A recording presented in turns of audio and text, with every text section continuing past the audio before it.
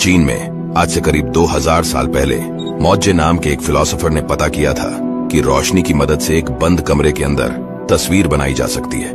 वो शायद दुनिया का पहला कैमरा था द कैमरा ऑब्सक्यूरा जिसे पिन होल कैमरा के नाम से भी जानते हैं। इमेज बनाने वाले तमाम कैमरों का प्रोटोटाइप उसका भी, जिससे आप ये तस्वीरें देख रहे हैं। रोशनी की अजीब खासियत की मदद से उन्होंने शायद दुनिया की पहली मूवी बनाई थी।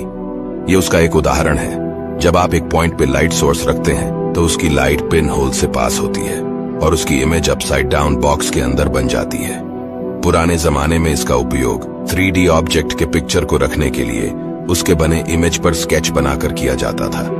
ऐसी और विज्ञान की बातों को समझने के लिए फैक्स टेलर के परिवार का हिस्सा बने।